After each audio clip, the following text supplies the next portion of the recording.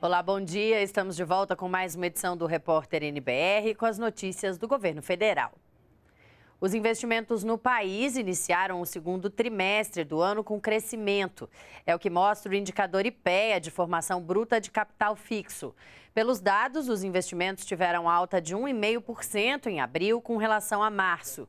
Foi a terceira variação positiva dos investimentos, que avançaram 2% no trimestre terminado em abril.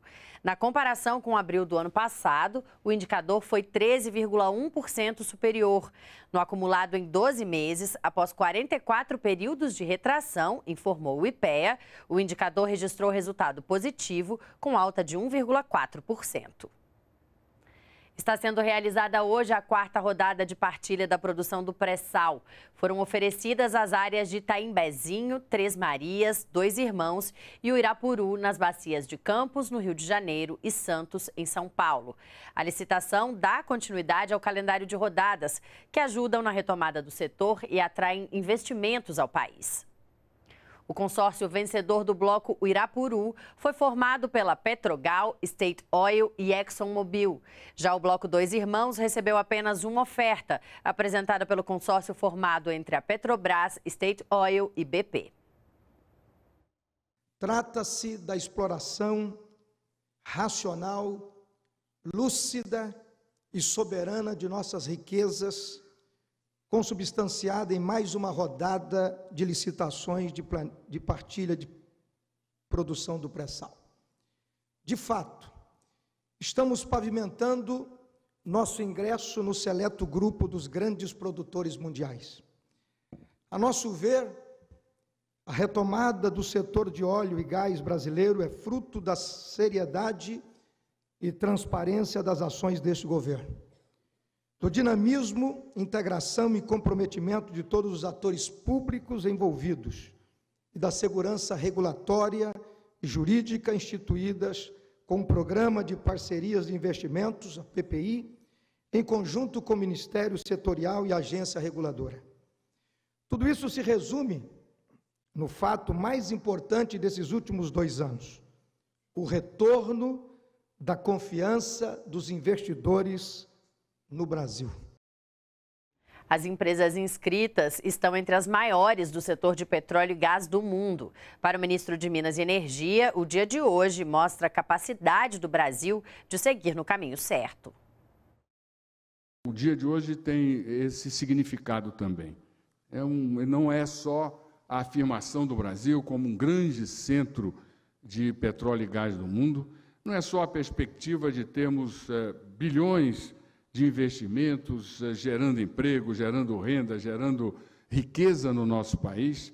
Não é só a certeza de que é, nós é, é, estamos superando com muitas dificuldades, dificuldades políticas, dificuldades, certamente dificuldades eleitorais, num ambiente de muita, muita tendência à intolerância e à radicalização, mas nós estamos demonstrando resiliência nós estamos demonstrando é, que temos coragem de é, perseguir este caminho, porque é este caminho que vai nos levar a construir no Brasil uma sociedade democrática, com instituições fortes e, sobretudo, com igualdade de oportunidades para, para as pessoas, para as empresas, para todos nós.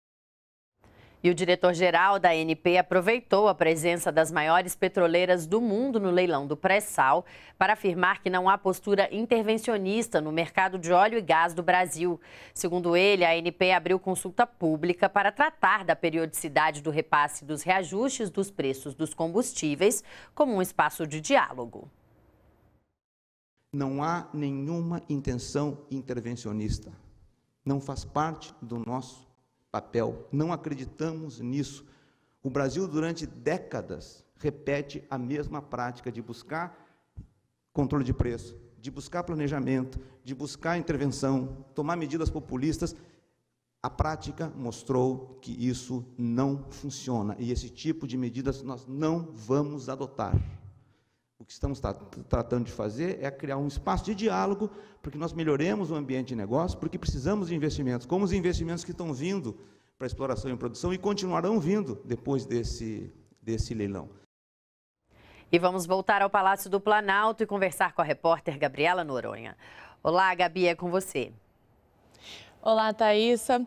Olha, o governo federal continua acompanhando os desdobramentos da greve dos caminhoneiros. O Comitê de Gestão de Crise não foi desfeito e agora está avaliando as decisões tomadas pelo governo e monitorando as consequências dessa paralisação que durou 11 dias e gerou uma crise de abastecimento em todo o país. O Ministério da Justiça, por exemplo, que orienta os PROCONs estaduais e municipais na fiscalização dos postos de combustíveis. A ideia é fazer com que o desconto de 46 centavos no litro de diesel chegue ao consumidor final.